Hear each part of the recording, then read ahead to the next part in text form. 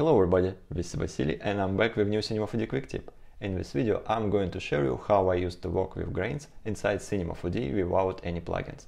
And that became possible some time ago once Maxon released their new GPU accelerated Cloth Dynamics engine. And recently I found a way how to utilize that engine to work with grains. And grain itself is just a tiny rigid ball and because of its simplicity we can create bunch of these balls to simulate sand or even dust effect.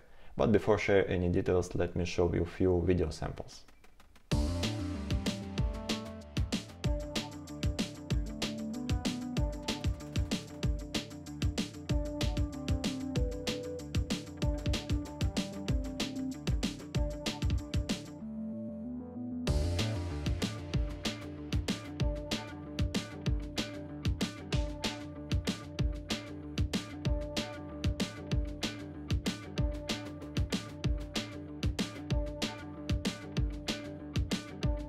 Okay guys, to have fun with grains we need to have some points. And actually in Cinema4D there are no dedicated point object.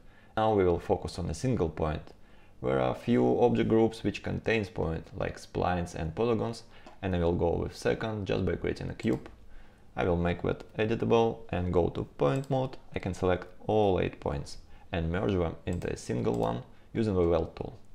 And now that cube can be named as a point, obviously and all this text can be removed. And I'm going to multiply this point with the cloner. So let me wrap it in the cloner and here I'm going to define count like 10 by 10 by 10 and step size like 10 centimeters, step 10 and 10 centimeters. So believe me or not, right now we have 1000 points in that project and I can visualize them using the additional cloner. Let me put this on the bottom mode can be changed from grid to object, instance mode to multi-instance, and here we need to drop our cloner with points, and distribution can be set to vertex. And if you remember, grain is just a little ball, so I'm going to create a sphere with radius of 5, which gonna give us a size of 10 centimeters. If I'll drop it here, now we would have 1000 of grains. Uh, we can simulate this cloner with points, because we're just for rendering purpose. This cloner gonna be supplied with simulation cloth tag and that thickness gonna be set to same 10 centimeters. And now if we will hit play, my grains are falling down, which is perfectly fine, that's because in the project settings, under simulation tab, scene subtab, we have a gravity, uh, which is defined as negative value.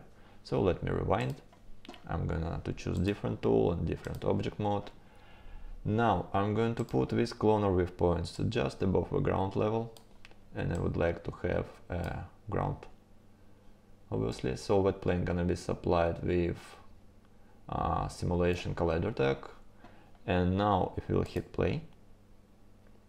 Uh, there is something happening like uh, these most of the grains are intercolliding with our and they colliding with the floor except that few pillars of grains which are falling down we can fix that issue just by going to project settings, simulation subtab, and we might increase these substeps, collision passes, whatever else. But instead, I'm just going to randomize that cloner with points a little bit.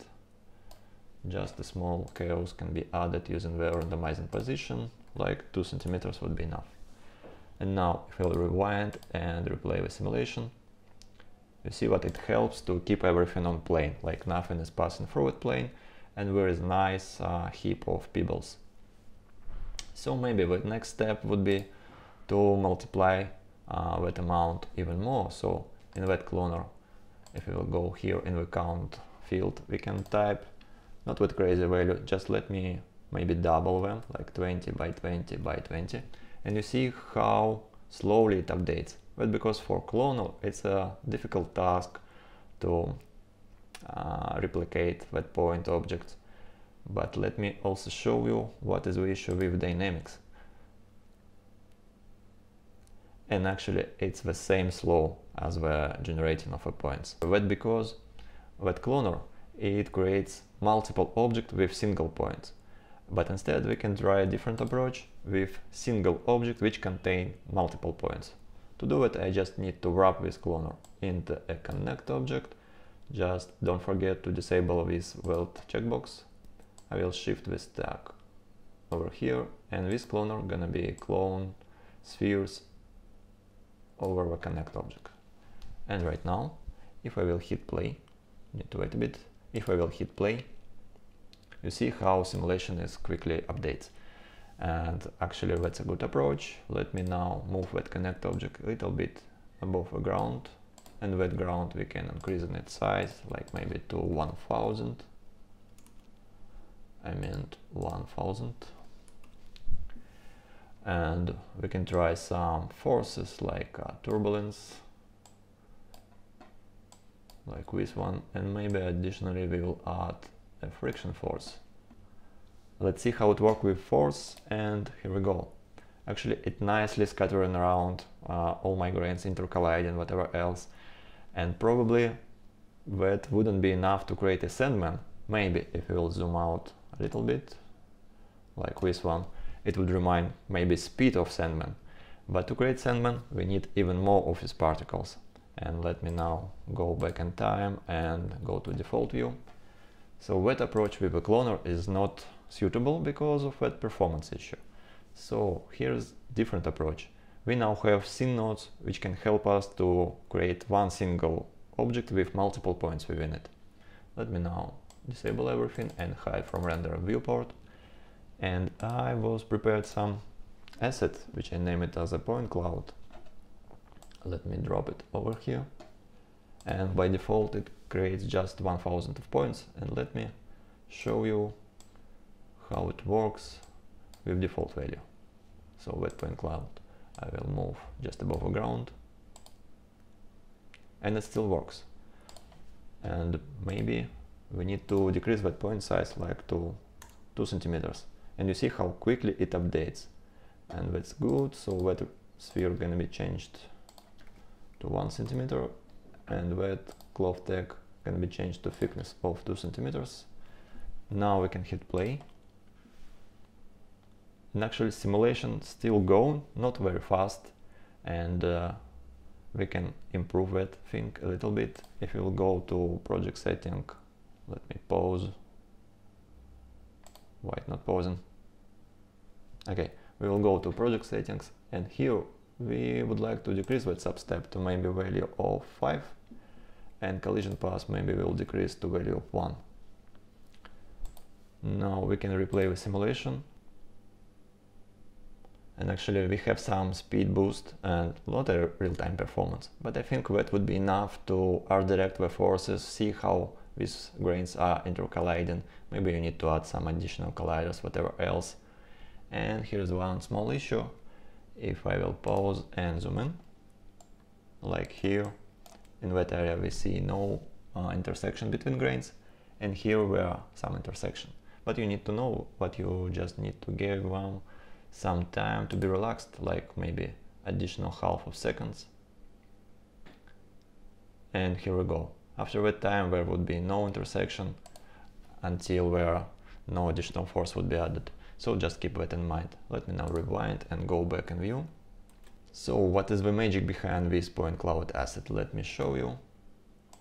And you see there are no rocket science, just very few nodes, some math node, calculation, some distribution and geometry node at the end.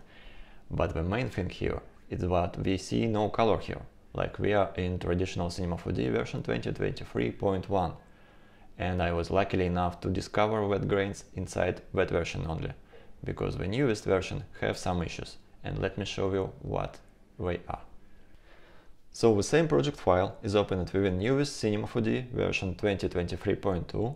We can start the simulation and there's something happening like there are no collision between grains and grains and colliders and as a trade-off we got this new stop motion preset uh, that grain dynamics is considered as a bug and removed from the system and maybe it would appear in future, but currently it's not.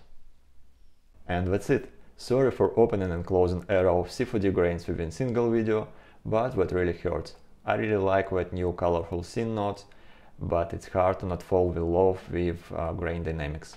And moreover, we just replicated my thickener plugin inside Cinema 4D, so I feel a little bit robot. And by the way, I have even more plugin candidates within my legacy bundle, so you can go and check a link from the description to that video. Thanks for watching, bye bye.